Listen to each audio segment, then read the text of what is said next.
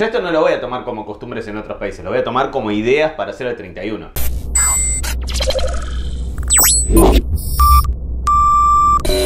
Hola gente, ¿cómo están? Les doy la bienvenida a un nuevo hashtag datazo, información completamente inútil pero que se va a quedar agarrada en tu cerebro. Hoy vamos a ver distintas costumbres de año nuevo alrededor del mundo. Por suerte no hay tantas que sean así medio creepy como había en el video de Navidad. Si no viste el video, está acá, es medio fuerte. Cuéntenme qué les pareció la tetralogía navideña de datazos. Les voy a dejar en la descripción los links a las cuatro partes de la tetralogía. Me parece que quedó como, como lindo. Bueno, estas de hoy no tienen un orden determinado, pero la última es medio una Arranquemos. Vamos a empezar en Ecuador. En Ecuador para Año Nuevo se hacen espantapájaros llenos de papel o de acerrín. Muchos representan a políticos, a artistas, a deportistas, a otras figuras conocidas y después los prenden fuego. Y también se prenden fuego fotografías antiguas que representen malos recuerdos. Así que si querías quemar la foto de tu ex, es un gran momento para irte a Ecuador. Una teoría dice que esto comenzó en Guayaquil en 1895. Aparentemente en ese año hubo una epidemia de fiebre amarilla en la ciudad y se quemaban ataúdes llenos de las ropas de los difuntos. Y supuestamente esto de quemar los espantapájaros ayuda a eliminar toda la mala suerte o las cosas malas que hayas tenido en el último año. Pero para mí es obvio que si vos haces un espantapájaro con la forma de un político y después lo prende fuego es para sacarte la bronca. O para desatar legalmente tu piromanía, ¿no? También puedes. Si vas a Japón en la víspera de Año Nuevo, o sea en Omisoka, que sería Nochevieja, vas a escuchar el sonido de 108 campanadas de los templos budistas resonando por las calles. Esta tradición se llama Hoya no Kane y se supone que destierra los pecados del año anterior y trae buena suerte para todos.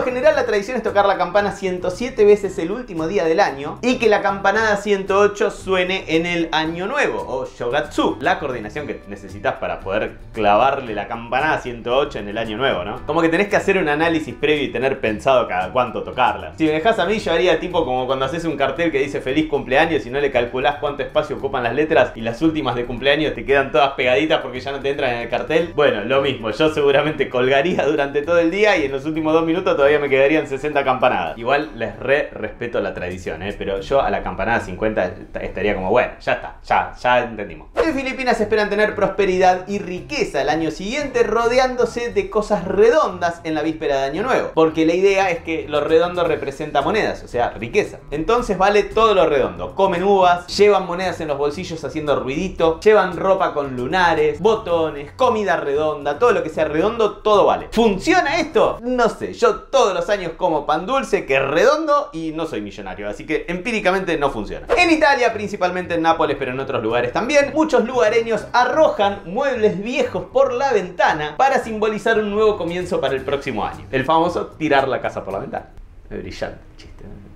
Igual tranqui, la mayoría de los que revolean cosas no es que te tiran un escritorio desde un quinto piso, sino que tiran objetos pequeños y blandos. O sea, te tiran un almohadón, te tiran una manta. Pero igual yo iría con un poco de cuidado, ¿no? Y con atención también, ¿por qué no? Porque capaz para vos es viejo, yo me agarro todo lo que me revolean, me armo una casa. Curiosamente, esta costumbre también se practica en otra ciudad muy alejada de Italia, en Johannesburgo, en Sudáfrica. Johannesburg. Bueno, y hablando de tirar cosas por la ventana, también tenemos la tradición argenta, la de tirar papeles por la ventana. No sé si pasará en alguna otra parte del mundo también. Tampoco sé si se sigue haciendo con tanto furor porque no es muy ecológico que digamos, pero hace unos años era tremendo. La idea para la gente de otros países que no lo conozca es que a fin de año en las oficinas principalmente se trituraban todos los documentos o papeles viejos de ese año que ya no servían y después los tiraban por las ventanas, una especie de lluvia de papel picado y encima en edificios de oficinas, era como había como muchos pisos, era una lluvia de papel picado en las zonas de oficinas principalmente. Yo intuyo, no estoy seguro, pero intuyo que debe haber más de una anécdota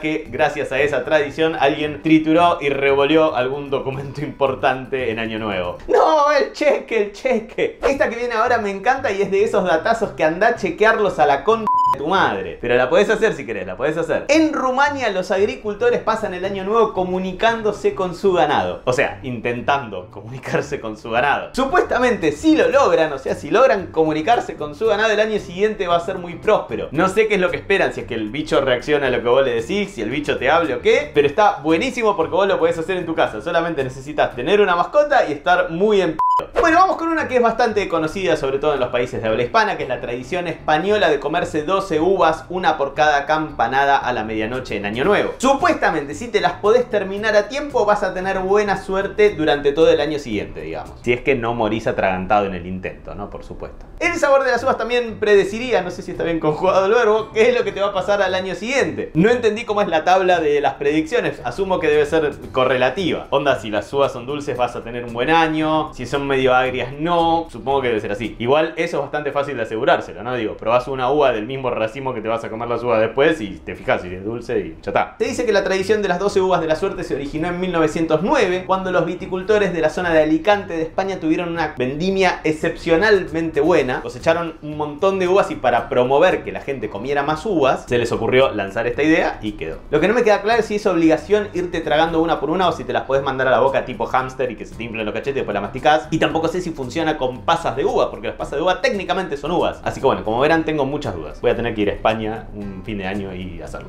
no lo podía hacer en casa igual.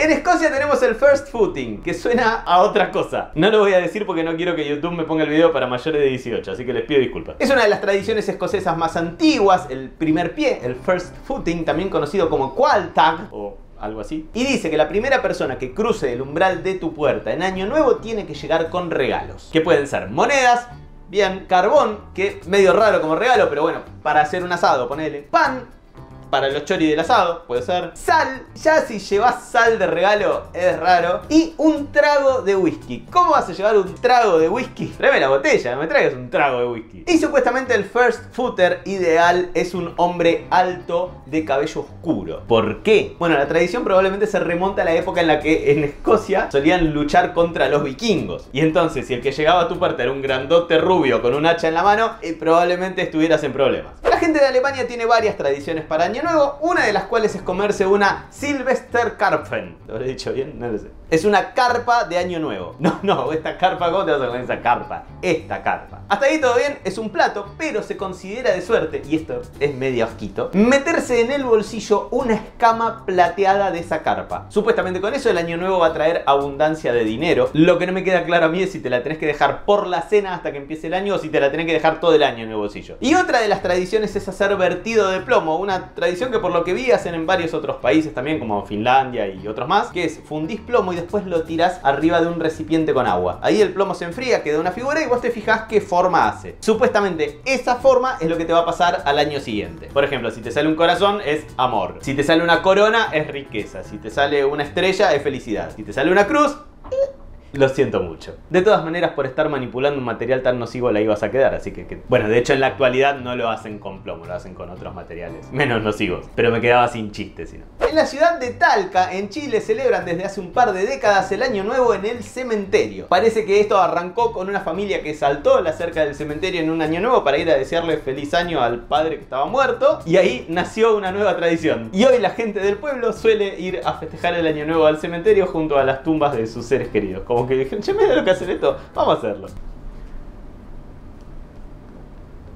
Está callado el tío este año nuevo, ¿eh? En algunos lugares de Colombia, pero también he visto que pasa en algunas partes de México y en otros países más, hacen cosas con maletas, con valijas, como para que augure un año con viajes. Corríjanme, gente de estos países que estoy nombrando o de otros países, si esto que estoy diciendo es cualquiera, déjenlo en los comentarios. No vamos a borrarlo del video, pero hacemos una fe de ratas o algo. ¿Qué hacen con la maleta? Bueno, en algunos lados corren con una maleta, en otros se suben a una silla con una maleta, otros dan la vuelta a la casa con una valija, enloqueció la abuela. Y en otros lados sacan las valijas a la calle, que no sé si en esos países les trae suerte, pero acá si lo haces las roban. ¿eh? En República Checa, este es otro que anda a chequearlo. Tradicionalmente se corta una manzana en dos como para decir cómo va a ser el próximo año. Si el centro de la manzana está rodeado con una forma como de estrella, el año siguiente va a ser un año bueno, afortunado, con salud, con felicidad. Pero si tiene la forma de una cruz, el año que viene va a ser complicado y alguien de la fiesta se va a enfermar. Por eso hay que hacer una fiesta con bocha de gente para disminuir las probabilidades de que seas vos. Y si cortás la manzana en dos mitades exactas, ganás en lo de Sofovich.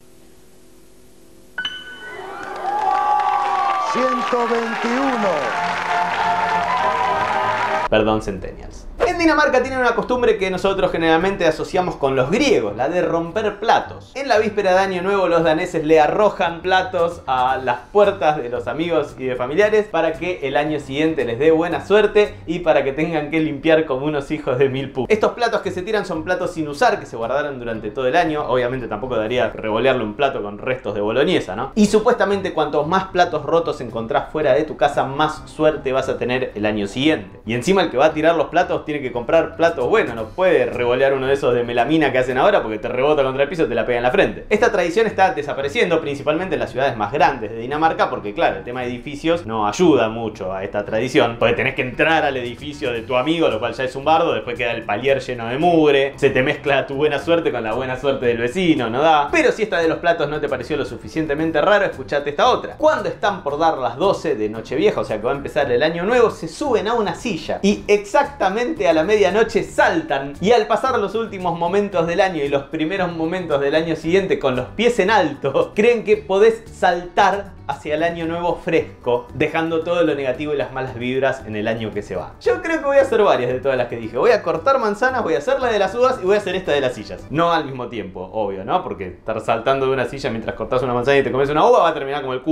pero en orden. En muchas playas de Brasil algunos acostumbran entrar al año nuevo saltando 7 olas. Voy 3, 4, 5, 6, 7. No tengo olas igual, pero no sé por qué. Ya saben que es igual. Esto es en homenaje a la diosa Lamanja o Yemanja. Tiene como distintos nombres muy, muy parecidos. Y por cada ola podés pedir un deseo. Me copa que sean 7, porque yo siempre con los 3 deseos me quedo corto. Y dejé para el final esta peculiar celebración. Así como es habitual comenzar el año con las campanadas de la Puerta del Sol en Madrid o de la bola que cae en Times Square. En Idaho también dejan caer algo, pero bastante más peculiar. Esto es en la ciudad de Boise, o Boise, no sé cómo se dirá, es una tradición bastante más reciente, arrancó en el 2013. Y la tradición es que se juntan varios miles de espectadores para ver el Potato Drop. ¿Qué es el Potato Drop? Es una papa gigante que pesa casi 200 kilos, iluminada por dentro. De hecho, la llaman la Glow Tato, porque potato que brilla, Glow Tato brillante. Y que baja cuando es el año nuevo, cual bola de Times Square. Porque ¿qué tiene una bola que no pueda tener una papa gigante? Todo esto obviamente tiene un sentido porque Idaho es el mayor productor de papa de Estados Unidos. Casi el 30% de las papas de Estados Unidos se cultivan en Idaho. Pero bueno, no deja de ser particular bajar una papa gigante para año nuevo. Y si una papa cayendo no es lo suficientemente raro para vos, en Estados Unidos tenés en otras ciudades un montón de otras cosas que caen para año nuevo. La cuestión es bajar cosas. En Brastown, por ejemplo, bajaban una zarigüeya, una zarigüeya posta, viva, en una caja, hasta que tuvieron bardo con las asociaciones protectoras de animales. No sé si lo seguirán haciendo ahora, pero bajaban una zarigüeya. En Bethlehem bajan un caramelo, onda un malvavisco gigante que pesa cerca de 100 kilos. En Port Clinton, Ohio, bajan un pez gigante que se llama Willy de Walleye. Y hasta tenés un apartado especial en Wikipedia de cosas que se bajan en distintas ciudades de Estados Unidos. Que obviamente dejo el link en la descripción para que lo puedas chusmear, que